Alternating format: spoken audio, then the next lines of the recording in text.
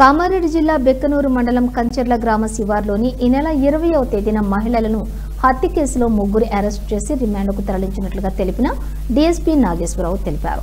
Kamareddy DSP కార్యాలయంలో నిర్వహించిన media సమావేశంలో డీఎస్పీ నాగేశ్వరరావు వివరాలు వెల్లడించారు. నిందితులు బీబీపేట మండలం యాడారం గ్రామానికి చెందిన వారుగా పోలీసులు గుర్తించారు. నిందితుల వద్ద నుండి మూడు తులాల బంగారు ఆభరణాన్ని ద్విచక్ర వాహనాన్ని స్వాధీనం చేసుకున్నట్లు తెలిపారు.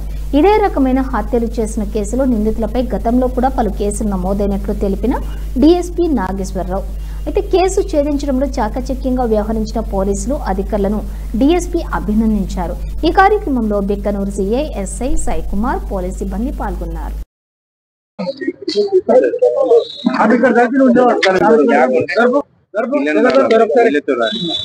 రైట్.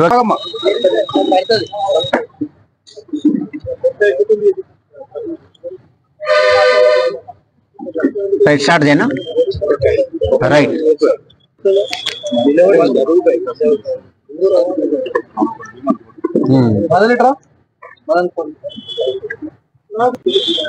సాయంత్రం అందాజా మూడు మూడున్నర ప్రాంతాల బలేముల సుగుణ మరియు ఆమె యొక్క భర్త. ఇద్దరు ఆ గ్రామ శివారులో రోడ్డు పక్కమట ఉన్నటువంటి వాళ్ళ సొంత వ్యవసాయ భూమిలో పాలకూర సాగు చేస్తున్నారు. అటువంటి పాలకూరని తెంచి కట్టలు కట్టేదానికి భార్యాభర్తలు ఇద్దరు చేను కాడికి పోవటం జరుగుతుంది. సో భార్య పాలకూరని తెంచి కట్టలు కడుతున్నటువంటి క్రమంలో ఆ పాలకూర కట్టలు కట్టే దానికోసం నార కోసమని భర్త పొడవలు తీసుకొని కొంచెం దూరంలో ఉన్నటువంటి ఈత చెట్ల వైపుకి ఆ ఈత మటలు కోసుకురావటం కోసమని వెళ్తాడు. భార్య ఒక్కతే ఆ పొలంలో ఈ పాలకూర కట్టలు కట్టేటటువంటి పనుల నిమగ్నమై ఉంటుంది సో ఆ సమయంలో ఒక ఇద్దరు వ్యక్తులు మోటార్ సైకిల్ మీద వాళ్ళు గతంలో ఎన్నో నేరాలల్లా ఒంటరి మహిళలని టార్గెట్ చేసి వాళ్ళ మీద దాడి చేసి విచక్షణ రహితంగా చంపి వాళ్ళ ఒంటిపై ఉన్నటువంటి ఆభరణాలని ఆ, దొంగిలించుకొని పోతున్నటువంటి ఒక గ్రూపుగా ఉన్నటువంటి ఆ ఇద్దరు వ్యక్తులు వీళ్ళు అలవాటు పడినటువంటి నేరస్తులు గతంలో కూడా వీళ్ళు సుమారుగా ఒక ఐదారు మంది మహిళల్ని చంపినటువంటి రికార్డు కూడా వీళ్ళ మీద ఉన్నది.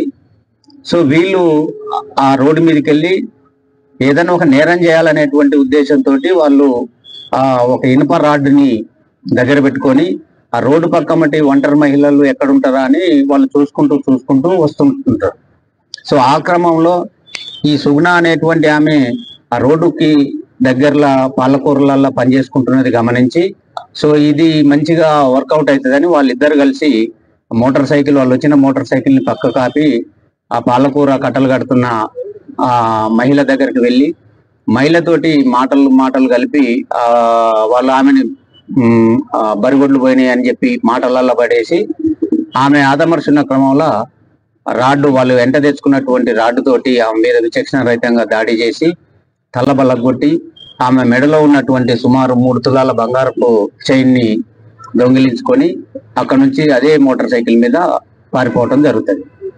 సో ఈ క్రమంలో ఈ సమాచారాన్ని అందుకున్నటువంటి బిక్నూరు పోలీసులు బిక్నూరు సిఐ గారు బిక్నూరు సిబ్బంది ఎస్ఐ గారు అందరూ మేము నేరస్థలానికి వెళ్ళటం జరుగుతుంది.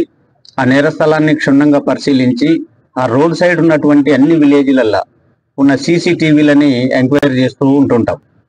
సో ఈ క్రమంలో నేరస్తుడు తను దొంగిలించినటువంటి బంగారాన్ని డిస్పోజ్ చేసే దానికి ఒక బంగారు షాపుకు వెళ్ళి డిస్పోజ్ చేసే ప్రయత్నం జరుగుతుంది. కానీ వాళ్ళు ఆ షాపు వాళ్ళు ఒప్పుకోరు తీసుకునే దానికి నిరాకరిస్తారు. సో అతను ఈ విషయాన్ని తన భార్యకి చెప్పి తను తర్వాత ఈ నేరంలో పాల్గొన్నటువంటి మరొక నేరస్తుడు ఇద్దరు ఆ పేర్లు చెప్తాను నేను. వాళ్ళిద్దరు కలిసి ఆ భార్యని చెప్పి ఆ బంగారాన్ని తీసుకొని నిజామాబాద్లో ఉన్న వాళ్ళ కొడుకు ఇంట్లో ఆ బంగారాన్ని దాచిపెట్టి కొడుకు చెప్పి దాచిపెట్టి వస్తారు. సో ఎప్పుడైతే పోలీసులు బిగ్నూరు సిబ్బంది మరియు కామారెడ్డి జిల్లాకు చెందిన సిసిఎస్ సిబ్బంది అందరము కలిసి దాన్ని ఒక ఛాలెంజ్గా తీసుకొని మొత్తము విలేజ్లలో ఉన్న సీసీటీవీలను ఎప్పుడైతే పరిశీలిస్తూ ప్రతిదీ క్షుణ్ణంగా అబ్జర్వ్ చేసుకుంటూ వస్తున్నది వాళ్ళు గమనిస్తారు. ఎందుకంటే ఈ నేరాన్ని జరిగి నేరం జరిగిన సంఘటనకి సమీపంలోనే వాళ్ళ గ్రామం ఉంటుంది నేరస్తుడిది. సో ఈ విషయం తెలిసి ఎట్లయినా బయటపడుతుంది ఇది అనేటువంటి ఉద్దేశం ఆ గ్రామాల అందరికి అర్థమవుతుంది ఆయనకు అర్థమవుతుంది ఆ నేరస్తులకి. దాంతో ఈ పోలీసులు దీన్ని చాకచక్యంగా పెట్టుకొని దీంట్లో ఏదైతే నేరస్తులు ఉన్నారో వాళ్ళని అరెస్ట్ చేసి ఆ బంగారాన్ని ఆ మహిళను చంపడానికి ఉపయోగించినటువంటి రాడ్ని అన్ని సీజ్ చేసుకొని వాళ్ళని రిమాండ్ చేయడం జరుగుతుంది. సో ఇందులో ప్రధానంగా దండుగుల నవీన్ అనేటువంటి వ్యక్తి తర్వాత అల్లెపు మల్లయ్య అనేటువంటి వ్యక్తి ప్రధానంగా ఉన్నటువంటి వ్యక్తులు తర్వాత అల్లెపు ప్రసాద్ అల్లెపు సాలవ. ఈ అల్లెపు మల్లయ్య అనేటువంటి వ్యక్తి ఈ మధ్య కాలంలోనే ఇటువంటి సిమిలర్ మర్డర్ కేసులలో జైల్లో ఉంటాడు. సో తను జైల్లో ఉంటున్న క్రమంలో తన కొడుకే డబ్బులు ఖర్చు పెట్టి జైల్లో నుంచి బయటికి తీసుకొస్తాడు. ఇతను జైల్లో నుంచి వచ్చిన తర్వాత ఇక ఇవే